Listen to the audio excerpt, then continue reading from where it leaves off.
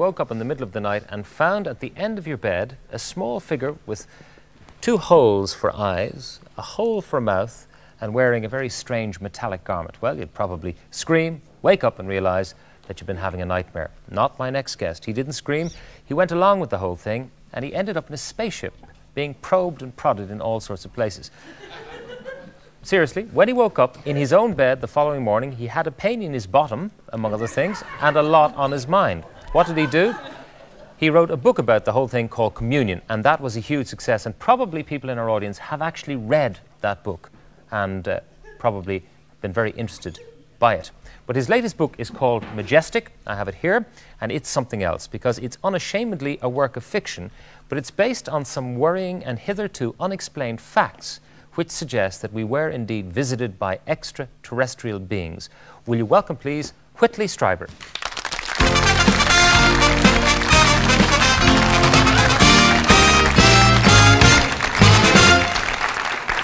Okay, the fact, first of all, that well, you wanted to say something.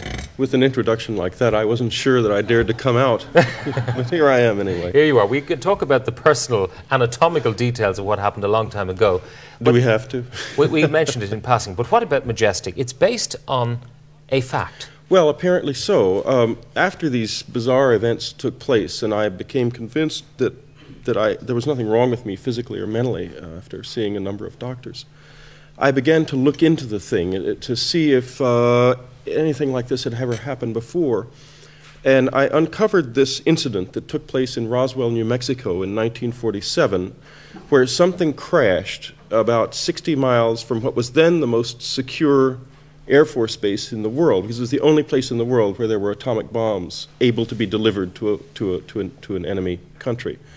Uh, the Russians didn't have them yet.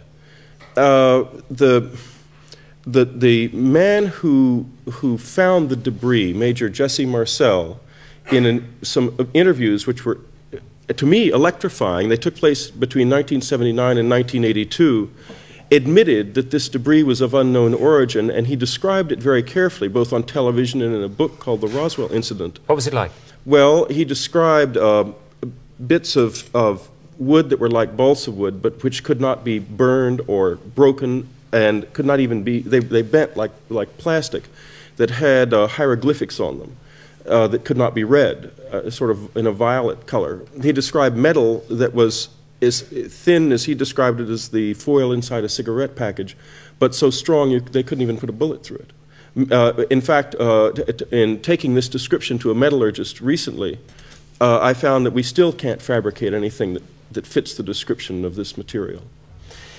Okay, how do you relate that to something extraterrestrial, though? Well, I really don't necessarily. What, what Major Marcel said was, and what I say about my own experience is, that it is unknown. And what I would like to get across is the fact that something quite extraordinary and very unknown is happening, or whether, even whether what happened to me is related to what crashed in New Mexico is, is not known. I, for example, before I wrote Communion, and uh, uh, in, shall I, I think would be uh, kind to say, invalidated myself to a degree. At least politicians don't ask me for contributions anymore. Uh, uh, I had a lot of friends in, in politics, and I went to a couple of, a, a, senator and to a congressman who are in the respective armed services committees, and said to them, please, just privately tell me, is there anything in this? And what they said to me was this that the government had looked into the so called alien abductions and couldn't figure out what it was all about any more than I can. Uh, however, week before last, after I wrote Majestic was published in the States, it's dedicated to Major Marcel. I come from a family with lots of Air Force in the background. And a number of Air Force people who have had something to do with this have come forward in the past few weeks, especially this gentleman, uh, Richard Doty, who is a, a, a was a counterintelligence officer until uh, last year. And he told me in an interview just uh, the early part of last week, for the first time publicly for attribution, he said, Yes, it happened, something in Roswell. Uh, he said, but be, when we had a certain amount of, of awareness of this, but it was classified at the time because they didn't know what the origin of it was. But Uh, besides this material, were there any little alien corpses found? Well, uh, Doty says there were, were but I haven't uh, gotten. It just seems so fantastic to me. I find it very difficult to believe, frankly. Although I, he I, is, a, I find it very difficult. yeah, to I do, especially how could it be covered up for so many years? And why would they want to cover it up? What's the point in covering Well, it up? that's- If we are being threatened by aliens, as in war Yeah, of the worlds and so on, surely we should all know about it. What if, what if this happened? 1947, the United States and the Soviet Union were at each other's throats. Suddenly, this strange debris was found. At first, uh, it, uh, there was a press release about it that went out, in fact, was even published in the London Times to the effect that the Air Force had found a crashed flying saucer. Uh, then the next day, this was all changed. It was changed because they couldn't allow anyone to know that something unknown could get that close to that base. And why it stayed classified all of these years is a good question. And I think it's a question that's being asked in the government right now. And I suspect that the reason I was contacted by Doty, which it's not an official contact, but it's fairly close to one, is that maybe that's sort of a trial balloon to see what happens if they begin to let out the idea that this did occur. Hmm. Why do you think that aliens would have gone to you, for example? Uh, I am an utter skeptic about such things. Why did they go to they, me? They didn't drop in on Well, me. Well, see, bear in mind, I don't know what happened to me. We don't even know if it's related. And I'll give you an example of what I mean. This happened in 47. There have been UFO stories uh, in the papers and uh, radio, TV for years. Uh, I had never been very interested in them until, except when I was a child. But you hear things and see things without even necessarily registering it. No one knows what a what the effect of a radio uh, news story that you don't really listen to actually has on somebody. Maybe these stories are something that ha- a sort of unconscious response to this possibility that we don't uh, yet understand how it comes about in a human mind. Or maybe they're really out there. Your book is a mixture of uh, fact, the Roswell incident, Yeah. and fiction, because there's a narrative uh, Right. throughout. The aliens that you describe in the book are not exactly endearing creatures, and yet, No.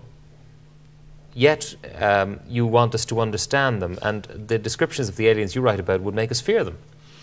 Embryo abductions, for well, instance. what I experienced was extremely frightening. And if this is real, and it begins, it spreads. Uh, we get 50 letters a day. Th- that's the remarkable thing. When I, after I wrote Communion, uh, I didn't expect to. I, I mean, I hoped I would get a successful book out of it, of course, but I didn't expect what happened, which is that ever since it was written, we have been getting between 30 and 50 letters a day, and that's four and a half years ago.